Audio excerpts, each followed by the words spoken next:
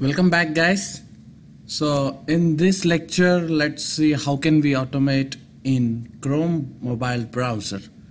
So till now we are concentrating the automation on native apps in mobile right.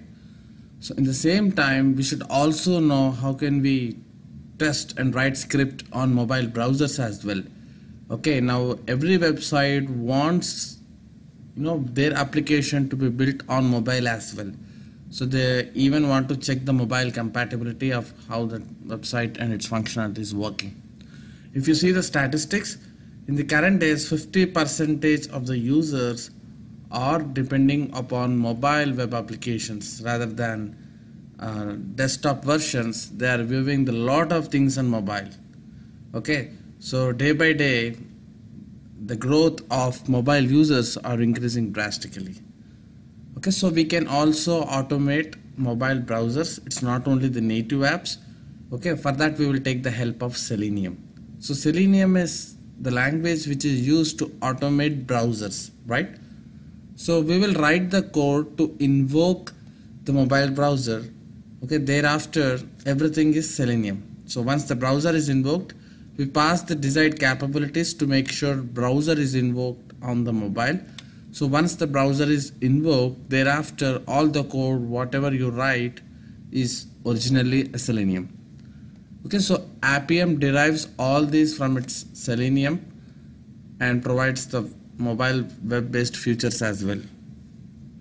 Okay so now we know that these are the desired capabilities to run our test in apps.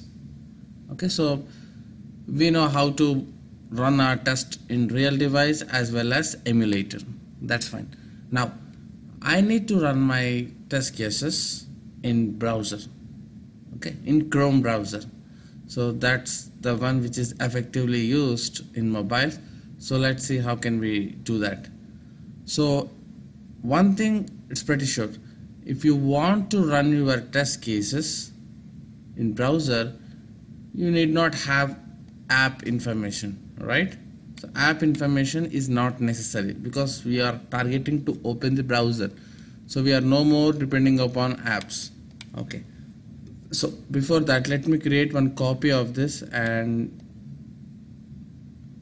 so that I don't modify the existing one. Chrome paste chrome.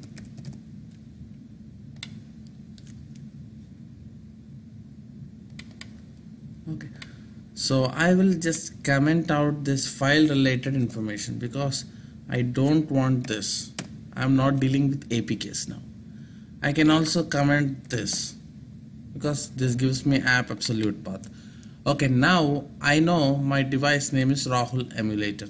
That is em emulator. If I want to run on real device I just simply say Android device.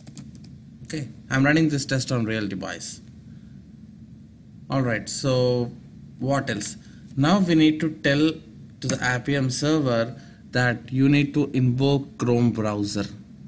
How do you tell that? It's very simple again. So this is the common code till here. We need to define one more mobile capability. And when you say type dot check out. You will see something called browser name. Okay select this.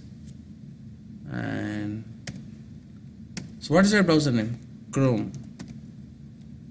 Okay. That's it. It's done. If you if you run this test the chrome browser will be invoked. So that's the only change you need to do if you want to run your tests in the browsers. Okay. If it is apk we are just telling the path of that apk and we are sending that path of the apk to appium server okay now I want a browser. So forget about all the app and I'll write just write this step. This single step will allow me to execute and start automation execution in Chrome browser on real device. If you want emulator just give Rahul emulator. Alright it's based upon what emulator name you have in your system. You need to provide that. For me it's Rahul emulator. Now let me run this test. So I'll go and create one browse class you see that it's already written there. So let me tell you from the beginning. Now I will extend base Chrome. Okay I have created one new class and I am extending base Chrome capabilities because that has the capabilities to run in Chrome browser. So I am just inheriting the capabilities method. So when you click on here it redirects me to base Chrome page because that's what we are extending. Alright so this until this step you will see that browser is invoked in your mobile. Now if you want to hit any URL you need to give a command called driver.get you see that? Get is a command to hit URL in the browser. I want to hit http google.com okay. So run this test now. It should invoke that in your real device. So let me connect my real device via TeamViewer so that you can see that. Okay so my screen is active and run as Java application. I already have my Appium server started and my device is listening on hitting this command. I'm just checking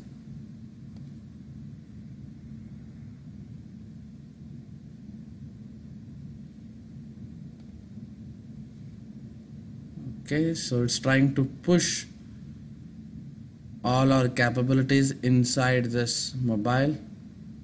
You see that?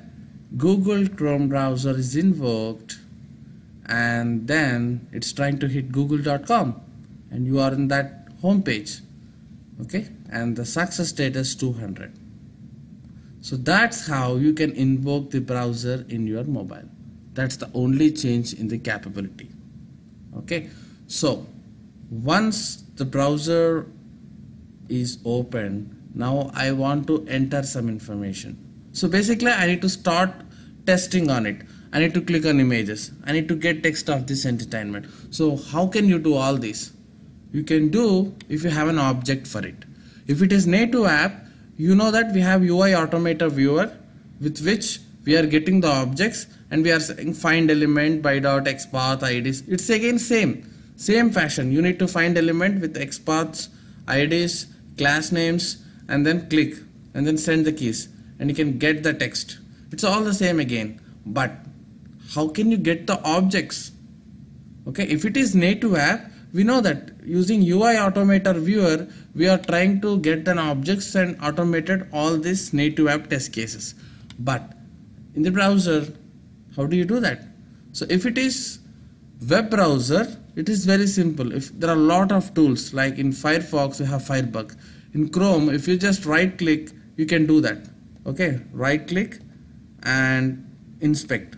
And when you do that inspect you will actually get all the developer tools open and you see that.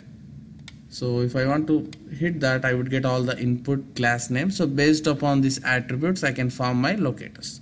But if it is in mobile how can I capture that so that's the challenging part. So yeah there is one tricky part to get that objects and I can route my mobile browser to my de uh, development machine and then I can get the objects from my laptop. So it's just a tricky connection between mobile and system. Thanks to Google whom which made that work very easier to us. So in the next lecture let's see how can we get the objects to automate in mobile browsers. So once we get the objects let's do one or two exercises for hands-on so that you will get enough confidence on automating mobile browsers. All right see you in the next lecture. Thank you